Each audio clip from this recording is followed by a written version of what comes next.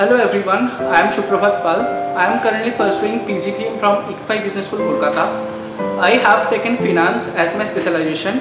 I got placed in PwC Kolkata. Since I joined the institute, I have been gone through uh, various curriculum like one-to-one mentorship program, uh, mock GDPI sessions which uh, helped me to crack Big Four. We have been trained through various individual classes, certifications program like Excel classes, Bloomberg certification program also to uh, um, help me to get placed in uh, various uh, good corporates. I uh, was also a part of the student council as a joint treasurer of the 2023 to 2024 which shaped me as an individual and a good leader also. I would like to thank IBS Kolkata for providing me this opportunity and uh, Uh, make me easier to get placed. Thank you.